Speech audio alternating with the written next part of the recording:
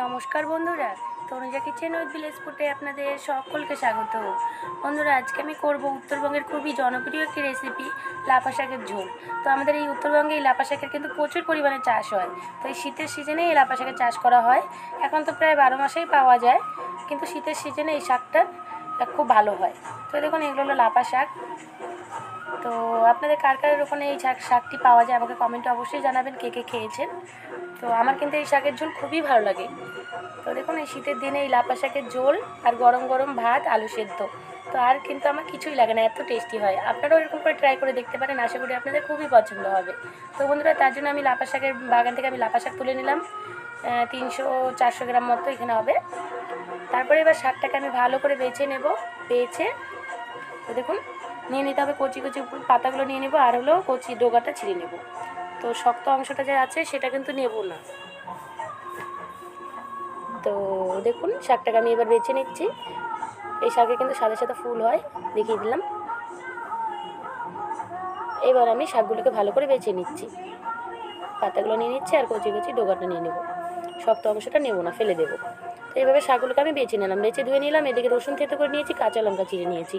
তারপরে কড়াই তেল বসিয়ে দিলাম, চার টেবিল চামচ মতো, তার মধ্যে দিয়ে দিলাম কাঁচা লঙ্কা চিড়ে আর রসুন থেতো করে রাখা। দিয়ে এবার এটাকে এক মিনিট মতো একটু লাল লাল করে ভেজে নিচ্ছি। ভেজে নেওয়ার পরে আমি এর মধ্যে সেই লাপা শাকগুলো দিয়ে দেবো। দিয়ে এটাকে এক মিনিট ধরুন এইটাকে দিয়ে দিলাম, দিয়ে দু মিনিট মতো, দু চার মিনিট মতো আমি একটু ভেজে নেব। বেশিক্ষণ ভাজবো না, বেশিক্ষণ ভাজলে শাকটা গলে গেলে ভালো লাগবে না। তারপরে এর মধ্যে দিয়ে দিলাম স্বাদ মতো নুন। নুন দিলে শাকটা একটু এইভাবে মজে যাবে, কমে যাবে। তো দেখুন। তো দু চার মিনিট মতো ভাজলেই হয়ে যাবে, বেশি ভাজার প্রয়োজন নেই। তো এবার আমি এর মধ্যে দিয়ে দেবো হাফ টেবিল চামচ মতো হলুদ গুঁড়ো। দিয়ে এবার এর সাথে একটু শাকটার সাথে ভালো করে মিক্স করে নিচ্ছি। তো শাকে থেকে কিন্তু অনেকটা জল উঠে আসছে। এই জলটা কিন্তু পুরো শুকিয়ে নিলে কিন্তু শাকটা পুরো সিদ্ধ হয়ে যাবে। তাহলে এই জলটা, শাকটা ভালো লাগবে না। তাই জলটা আমি পুরো শুকোবো না। এরকম জল উঠে আসবে, তার মধ্যেই আমি ঝোলের জলটাও দিয়ে দেবো। তো দিয়ে দিলাম এক কাপ মতো ঝোলের জল। তো শাকটা যেহেতু ঝোল করব, তাই জল দিয়ে দিলাম। দিয়ে এটাকে আট ন মিনিট মতো এবার ফুটিয়ে নেব, ভালো করে জাল করে নেব। জাল করে নিলে আজকের এই লাপা শাকের ঝোল একদমই রেডি হয়ে যাবে। রান্নাটা কিন্তু খুবই সহজ, খেতে কিন্তু দারুণ টেস্টি হয়। আমাদের এই উত্তরবঙ্গে প্রায় বাড়িতেই কিন্তু এখন এই লাপা শাকের ঝোল হয়।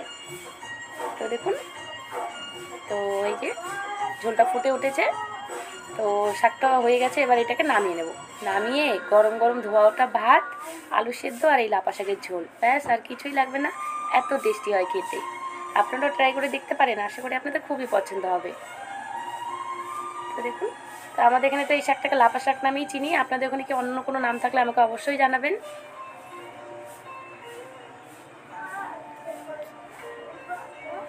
তো শাকের ঝোলটা হয়ে গেছে, এবার আমি নামিয়ে নেব।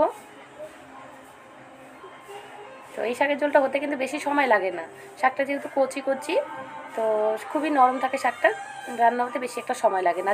আর বেশি জাল দিলে এই শাকটা খেতে ভালো হয় না, তাই এরকম সবুজ সবুজ থাকতেই নামিয়ে দিতে হবে। তো দেখুন ঝোলটা দেখাচ্ছি, এরকম হবে।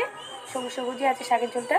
তো এরকম নামিয়ে দিলে খেতে কিন্তু দারুণ টেস্টি হয়। আপনারাও এরকম করে ট্রাই করে দেখতে পারেন। আশা করি আপনাদের খুবই পছন্দ হবে। তো বন্ধুরা আজকে রেসিপিটা আমি সার্ভ করছি গরম গরম ভাতের সাথে আলু সেদ্ধ আর এই লাফা শাকের ঝোল। আমার কিন্তু এই রেসিপিটা হলে আর কিছুই লাগে না, এত টেস্টি হয়। তো আপনারাও ট্রাই করে দেখতে পারেন। আশা করি আপনাদের খুবই পছন্দ হবে। তো বন্ধুরা আজকে রেসিপিটা কেমন লাগল? ভালো লেগে থাকলে ভিডিওটাকে লাইক করবেন কমেন্ট করবেন চ্যানেলটিতে কিন্তু অবশ্যই সাবস্ক্রাইব করবেন।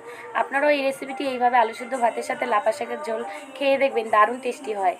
তো বন্ধুরা, আজকে আমি আসছি। আবার আপনার সাথে দেখা হবে নেক্সট ভিডিওতে আপনারা সকলেই ভালো থাকবেন, সুস্থ থাকবেন। ধন্যবাদ।